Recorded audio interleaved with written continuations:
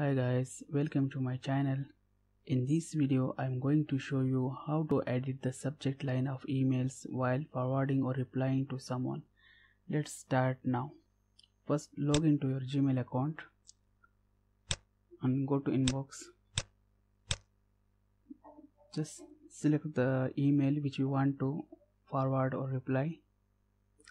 For example i will take this email open it and go to this drop down option. Please also note there is shortcut to reply and uh, also there are shortcuts to reply to forward here but i'm now going with the drop down option. Just click here. Click the reply. Now you will get mail editor.